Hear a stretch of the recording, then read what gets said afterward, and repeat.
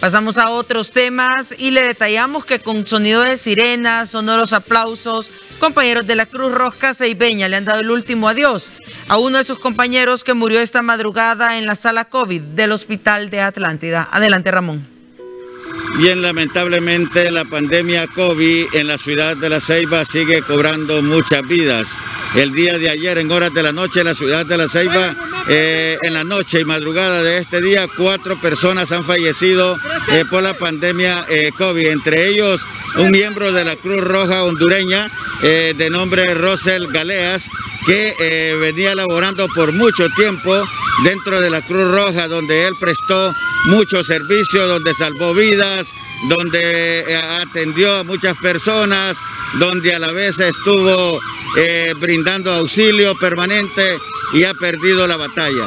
Pero hoy sus compañeros, sus compañeros en la Cruz Roja le están brindando un adiós en este sector precisamente frente a las instalaciones de la Cruz Roja hondureña, donde pues eh, se ha lamentado porque era una persona muy entregada a su actividad. Y hoy pues las ambulancias, el eh, sonido de las sirenas se ha hecho sentir en la ciudad de La Ceiba. Mayra Mejía, presidenta de la Cruz Roja, una pérdida lamentable que se ha dado con eh, este miembro de la Cruz Roja. Bueno, este, todo también no hay palabras como reescribir la muerte de nuestro compañero. Muchos años de labor, dedicado, que le fue respetuoso, muy humilde con los pacientes que llevaba a su cargo, empezando los 17 años como voluntario y después ya en servicio de ambulancia dando esta esmeridad ¿verdad? a la población, a servicio de todos. Mayra Mejía presente.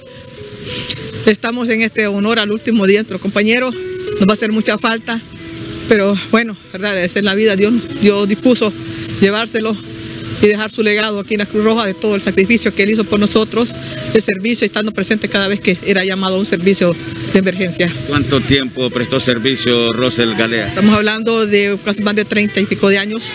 Estuvo él acá. Toda una vida prácticamente. Toda una vida, prácticamente desde, desde juventud, desde, salió socorrismo hasta terminar.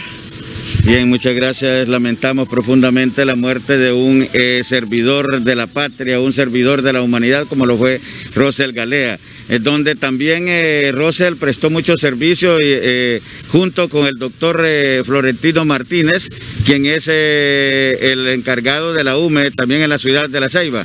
lamentable esta situación que sigue sucediendo y que siguen perdiendo la batalla muchos ciudadanos, doctor. Sí y un golpe duro sufrimos hoy. Otro compañero de la primera línea que nos va. No, no tenemos más palabras para decir muchas gracias, doctor. Entendemos el eh, dolor que sienten muchos de sus compañeros, quienes estuvieron a la par en cada momento con Russell. Esto es lo que sigue sucediendo. En medio de la pandemia, pues muchos eh, héroes que están en la primera línea siguen perdiendo la vida. Por eso seguimos solicitando de corazón a la población tomar las precauciones, hacer caso a las medidas de bioseguridad es la única manera, la única medicina más efectiva que tenemos. Por favor, pueblo ceibeño, sobre todo los de esta ciudad de La Ceiba, hagamos caso a las medidas de bioseguridad para no seguir sufriendo estos duros golpes que en cada momento se están registrando. El día de ayer se registraron entre la noche y la madrugada de hoy cuatro personas más muertas. Triste ver esta realidad cuando son conducidos a el cementerio ya para su terraje respectivo. Cómo llora la familia y muchos completamente aislados por las medidas que se tienen que tomar. Muchos de ellos se han ido solos, solos por completo. Tome usted esto que está pasando aquí. Bien, con esto llegamos al final de este reportaje. Retornamos a los estudios. Pablo Gerardo Matamoros, con el apoyo en cámara de Carlos Córdoba. Ramón Maldonado. Muy buenas.